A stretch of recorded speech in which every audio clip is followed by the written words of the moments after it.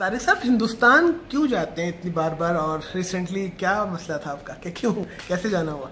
हिंदुस्तान जाने का मकसद बुनियादी तौर पर यह है कि my wife is of India और इस लिए उन्नीस सौ चौरासी से जाने का सिलसिला शुरू हुआ।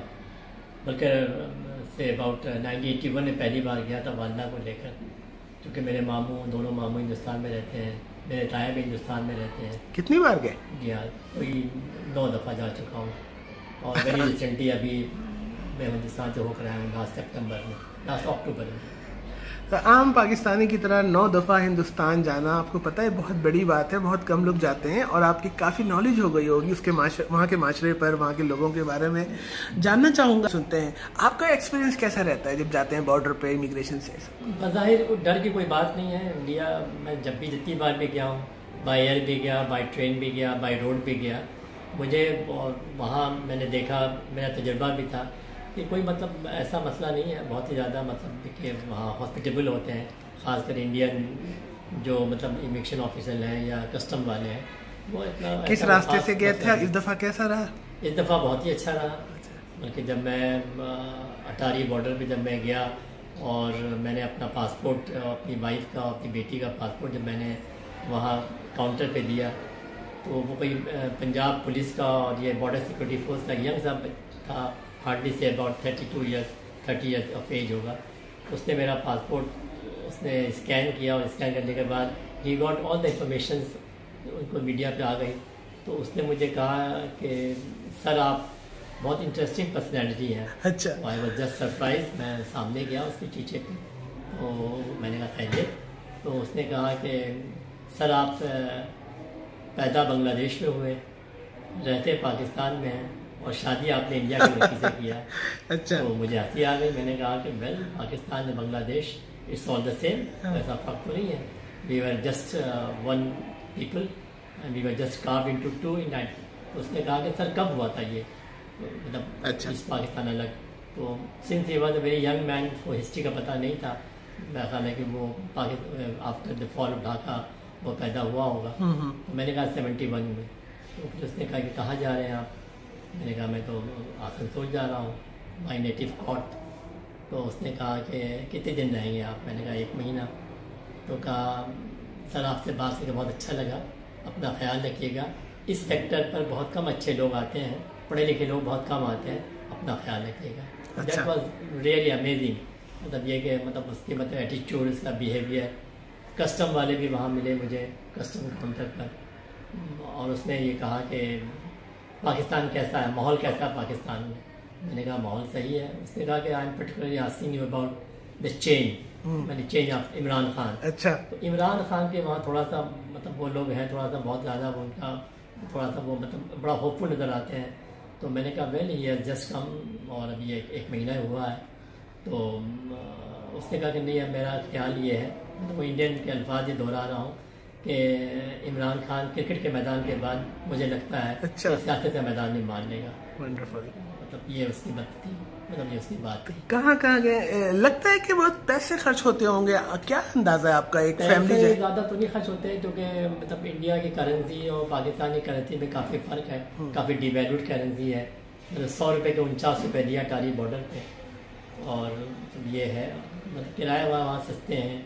चीज़ें भी सस्ती हैं। अच्छा। मतलब अभी भी वहाँ चाय की प्यारी मतलब अटारी रेलवे स्टेशन पर बल्कि मेरी बेटी ने जब चाय कॉफ़ी ली उससे उसने कहा कि अंकल कितने पैसे दो? उसने कहा कि बीस रुपये उसने कहा अंकल बीस रुपये कह रहा ज़्यादा बेटा उसने ज़्यादा नहीं है बहुत कम है। मतलब ये अच्छा। है कि चीप है इंडिया थोड़ा सा। आम चीज़ों की कीमतें हमारी जैसी हैं कि कम है? आम चीज़ों की खाने पीने की प्राइस सही है मतलब ये कि गोश्त तो सस्ती है बीस रुपये किलो हर सब्ज़ी मिलती है। एक पाकिस्तानी के तौर पे घूमते फिरते खौफ नहीं लगता? नहीं कोई खौफ नहीं। कोई खौफ नहीं कोई डर नहीं कोई वो नहीं ऐसा नहीं। बल्कि अगर वो समझते थे कि पाकिस्तानी है तो मतलब थोड़ा सा रिगार्ड भी करते हैं। अब ये कि गवर्नमेंट लेवल पर है ज़्यादा मतलब हेटेड है सब कुछ है। मतलब हमें तो लगता है कि हमें पकड़ के आईएसआई के एजेंट को डाल देंगे। ऐसा नहीं। बल्कि मैं तो मतलब पुलिस कमिश्नर ऑफ़िस में गया जाता था मैं और मैं दस दफ़ा गया हूँ मैं रिपोर्टिंग के लिए अपनी वाइफ की। क्योंकि मेरा नॉन रिपोर्टिंग वीज़ा था लेकिन वाइफ का और बच्चों का रिपोर्टिंग वीज़ा था तो मैं जाता रहा और इमेजिन के मतलब वहाँ पे मैं गया हूँ तो पुलिस कमिश्नर ऑफिस में मतलब जो इंचार्ज था उसने मतलब वो बंगला में मुझसे मतलब ये कह रहा था जब मैं वहाँ सुबह से बैठा हुआ था तो ही केम और उसने कहा कि यार भाई बात ये है कि ये बंदा क्यों बैठा हुआ तो बंगला में कहा अच्छा। कि मतलब ये कि ভদ্রলোক কেন বসে আছে সকাল থেকে বসে আছে तो बंगला मुझसे कहा क्योंकि मुझे बंगाली आती है आई बिन तो बांग्लादेश में पैदा हुआ हूँ मैं मुझे बंगला जबान आती है तो उसने कहा कि बात ये कि नेट काम नहीं कर रहा उसने अगर नेट काम नहीं कर रहा है तो इस शरीफ आदमी को तो फारिग करो इस सबको बैठाया हुआ सुबह से उसने कहा कि मतलब ये दिस वाज एटीट्यूड मतलब अमेजिंग के तो मतलब आपको सरकारी मुलाजमिन के रवैये में फ़र्क लगा दोनों हाँ फ़र्क लगा फ़र्क लगा लगा अच्छा। बहुत। मतलब वहाँ इंस्टीट्यूशन जो है हाँ। जो अदारे वो मज़बूत है अदारे इंटैक्ट है रेलवे भी इंटैक्ट है पोस्ट ऑफ़िस इंटैक्ट देखा मैंने। शायद उसकी वजह ये है कि वो लोग मुकाबले के इम्तहान पास करके ही आते हैं ज़्यादातर। मेरिट है मेरिट मेरिट है, है ठीक, है। क्योंकि मुझे तो धनबाद गया तो मुझे एक साहब ने बताया कि यहाँ पे नाइन आईपीएस ऑफिसर जो मुसलमान हैं। अच्छा। नाइन इंडियन पुलिस सर्विस के जो ऑफिसर्स हैं वो मुसलमान हैं। हैदराबाद मतलब धनबाद में। धनबाद बिहार का एक सूबा है झारखंड। आम लोगों के लेवल पे नफरत और पाकिस्तान से खिंचाव कोई? नहीं, कोई ऐसा नहीं बिल्कुल नहीं। आपको बिल्कुल डर नहीं लगता कहीं बिल्कुल जाने? नहीं बिल्कुल अच्छा। बताते थे आप पाकिस्तानी हैं। बताता था पाकिस्तान के ट्रेन में बल्कि बाकायदा मेरी बेटी बीमार हुई एक बंगाली था he was travelling with me Chittaranjan का था वो। और वो उसने बाकायदा मतलब वो उसकी बीवी आई हेल्प करने के लिए आई। अच्छा। और ऐसा बहुत अच्छा उसने हेल्प किया होते हुए कि बच्ची बीमार है तो दवा दे दो इसको। एहलिया तो आपकी हिंदुस्तानी है लेकिन बच्ची तो पाकिस्तानी उसके क्या रिमार्क्स है वो क्या बच्ची भी बड़ा इम्प्रेस हुई। लेकिन ये कि बच्चों का मतलब रुझान जो कि पाकिस्तानी है बच्चे यहाँ पैदा हुए हैं। ज़ाहिर है उनके दिलों में वो मतलब वो वाली बात नहीं है। जज्बाती attachment नहीं है, हाँ। they मतलब ये मतलब वो अपने मुल्क को ज़्यादा पसंद करते हैं और है भी सही है। लेकिन बाज़ जगह ऐसा है होता ज़्यादा? मैं आसनसोल में रहा कलकत्ता गया धनबाद गया और उसके बाद टाटा गया टाटा टाटा मुझे अच्छा लगा। ये वीडियो देखने वाले शायद जानते नहीं होंगे आसनसोल किधर है तो थोड़ा थोड़ा बता दें। बंगाल और बिहार के बॉर्डर के साथ बिल्कुल एक जगह है। अच्छा। रेलवे की बहुत बड़ा मतलब कि वो एक हेडक्वार्टर है। मतलब ईस्ट इंडिया रेलवे का वहाँ बी रेलवे भी है। रेलवे का मेन जंक्शन है। हर गाड़ी जो मतलब कि हावड़ा से निकलती है दिल्ली जाती है वो आसनसोल होकर गुजरती है उसको अच्छा। गुजरना है। ट्रेनें बहुत अच्छी है वहाँ की ट्रेनों का निज़ाम अच्छा है। सिस्टम अच्छा है लोकल ट्रेन बहुत अच्छी चलती है टाइम पे चलती है। तो एक मिडिल क्लास अपनी फैमिली के साथ जाके अपने खर्चे में जा सकता है प्रोवाइडेड के उनको वीज़ा मिल जाए क्योंकि वीज़ा में इंडिया वाले बहुत मतलब इंडियन अच्छा। गवर्नमेंट जो है वीज़ा के मामले में बहुत काफ़ी रिस्ट्रिक्शन है। काफ़ी लोगों के अज़ीज़ हैं जाना चाहते हैं लेकिन हिम्मत नहीं करते। आपके ख्याल में जाते हुए किन चीज़ों का ख्याल करना चाहिए कैसे तैयारी करनी चाहिए? वहाँ से सबसे पहले तो ये जाने वीज़ा के वसूल सबसे बड़ा काम है। बताइए कि वीज़ा कैसे लग सकता वीज़ा के है? वसूल के ज़रूरी है कि आपको वहाँ पे इंडिया में जहाँ आप जाना चाहते हैं वहाँ आपके अज़ीज़ आपको ये स्पॉन्सरशिप सर्टिफिकेट भिजवाएँ जो वहाँ गवर्नमेंट ऑफिसर से रजिस्टर्ड हो बाकायदा और ताकि वो इस बात से जमानत दे कि आप हिंदुस्तान आएँगे तो इनके यहाँ ठहरेंगे और आप उनके लिए कोई मतलब सेट नहीं होगा। ये ऑल यू नीड आप जब जा रहे थे तो आपने देखा और पाकिस्तानी भी आपके साथ जा रहे मेरे थे? साथ ट्रेन में कोई तिरपन अफराद थे फिफ्टी थ्री बहुत कम लोग जा रहे हैं वीज़ा बहुत कम है तो बहुत कम लोग जाते हैं। आते हुए सेवेंटी थ्री आदमी आए थे और जाते हुए फिफ्टी थ्री आदमी। आप लाहौर से गए लाहौर से समझौता एक्सप्रेस से, से मैं गया था। से क्या हालत समझौता एक्सप्रेस के बारे में बताया समझौता एक्सप्रेस अच्छी है बहुत बड़ी है मतलब ये कि फैसिलिटीज़ और और ज़्यादा अच्छी होनी चाहिए। कम अज़ कम पाकिस्तान के भी जो ऑफिशियल्स हैं खासकर इमिग्रेशन ऑफिशियल या कस्टम ऑफिसर उनको भी चाहिए कि मतलब अपने बाहर से जो लोग आते हैं उनके साथ अच्छा सलूक होना चाहिए ताकि मतलब मुल्क का नाम रोशन हो। तो समझौता एक्सप्रेस पाकिस्तान की है भारत की? समझौता एक्सप्रेस दोनों ट्रेनों के दरमियान जो ट्रेन चलती है उसका नाम समझौता एक्सप्रेस है। कौन कौन करता है इसको? इसको छः महीने पाकिस्तान की गाड़ियाँ होती हैं बोगियाँ होती हैं और छः महीने इंडियन बोगी होती हैं। अच्छा। स्टाफ भी इस तरह रेसिप्रोकल बुनियाद पर चेंज होता रहता है। अच्छा। छः माह इंडियन स्टाफ और छः माह पाकिस्तानी स्टाफ होता है। चूँकि हम पहले किस्त तैयारी की बात कर रहे हैं थोड़ा सा आप खर्चा बताइए कि लाहौर से वहाँ तक का टिकट और लाहौर से अटारी का किराया एक सौ पचास रुपये है पाकिस्तानी करेंसी और उसके बाद वो जो समझौता है इसमें अटारी से जो चलती है दिल्ली जाती है उसका किराया जो मैं थ्री टायर एसी में गया था तो उसका किराया मुझे याद है कि हम तीन अफराद का किराया चूँकि मैं मेरी उम्र साठ साल से ज़्यादा थी तो मुझे इंडिया में कंसेशन दिया उन्होंने थर्टी परसेंट कंसेशन दिया। अच्छा। दिया बाकायदा। जो पासपोर्ट पेज लिखी हुई थी। तो कोई दो ढाई हज़ार रुपये तीन अफराद का खर्चा आया था। ट्रेनें वहाँ बहुत अच्छी हैं ट्रेनें अच्छा कितनी साल से ज़्यादा उम्र हो तो उसको पुलिस रजिस्ट्रेशन की ज़रूरत नहीं है? नहीं होती है पैंसठ साल सिक्सटी फाइव ईयर्स अच्छा सिक्सटी फाइव एंड अबव मतलब they don't have to require मतलब पुलिस अच्छा। रिपोर्टिंग जहाँ चाहे जाए घूमे फिरे। जहाँ जाए जा सकते हैं। उससे कम जो है वो जहाँ का वीज़ा है वही वहीं जा सकते हैं। अच्छा तो आपकी फैमिली कम जगहों पे गई होगी बच्चे आपके? हाँ मेरे बच्चे भी साथ गए अच्छा। तो कोई वाकया बताइए वहाँ का आते जाते लोगों ने हैरत से हैरत से पूछा हो कि हाँ पाकिस्तान से आए पाकिस्तान कैसा हाँ है? बाकायदा कटड़ा में लोगों से मुलाकात हुई बड़ा हैरत से मुझे दुकानदार था जो वो पड़ोस में था है रोड पे ही वो बड़े अच्छे से मिला मतलब पाकिस्तानी है बड़ा मतलब मेरे भांजे ने कहा कि मेरे मामू पाकिस्तान से आए तो बहुत मतलब बड़ी मोहब्बत से पेश आया और अच्छे से मिला मुसलमान या हिंदू दोनों हिंदू भी अच्छे से मिले। अच्छा। बल्कि मैं तो दिल्ली में वहाँ मैं मैं मैं भी एक साहब से मुलाकात करने गया पता चला कि पाकिस्तानी हूँ कोई ऐसी बात नहीं थी अच्छे से लोगों से मिलते हैं जाते हैं और क्या कहते हैं बाहर खाते पीते हैं हलाल चीज़ें सब दुर्गा पूजा बहुत बड़ा फेस्टिवल है बंगाल का सबसे बड़ा फेस्टिवल दुर्गा पूजा बारह तेरह दिन तक पूजा होता है। मैं मेन उसी पूजा में मैं बाकायदा मतलब मार्केट में घूमता था इतना रश होता है कि आप चल नहीं सकते वहाँ पर।